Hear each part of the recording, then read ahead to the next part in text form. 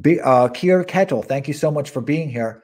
I like that image. I forget what that's from, but it's really funny. So Kier Kettle, thank you so much for being here. Says the and Darren, this is all for you, right? And I got to look at other questions. So I actually have an answer to this. Awesome. Um, and it's not, you know, there are philosophical works from the Renaissance period, but I think an interesting treatment of the period from a um, intellectual historian view is a book called um, Theology and the Scientific Imagination by Amos Funkenstein.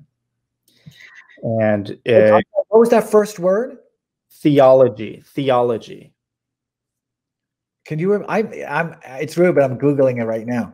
Theology. T H E O L O. Oh, I know how to spell theology. I mean, could you repeat the entire uh, name of the book? Yep. Theology and the Scientific Imagination. I think that's the title. I could be. Yeah, no, you got it. Theology okay. and Scientific uh, Imagination. Yep. It's a pioneering work of intellectual history. So we better uh, buy it in hard copy now, right? yeah, you better. I like your idea about you know having physical copies. You have a tweet with your library saying, you know, nobody can tinker with the information stored. What's going to happen next? What's going to happen next is take a book like that, right? It's still going to exist in some form, but it's going to be um, there's going to be different versions of it generated, right? And you and I will not be able to compare notes on the alterations that have been made to the book. So some people are going to read a Charles Dickens that's been completely kind of altered in such a way as to take out any type of language or any type of kind of real thought, right? right? And uh, me, because I can afford a little bit more, will will read the pristine Charles Dickens.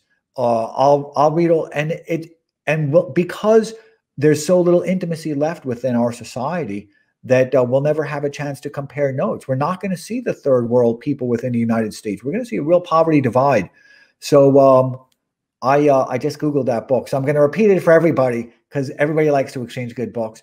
Nancy, my wife, just read a book called uh, I think the Hiroshima Maidens, which is about the uh, what happened to those young girls after the bomb dropped. Incredible story. So uh, read that one too. So uh, the book is Theology and the Scientific Imagination.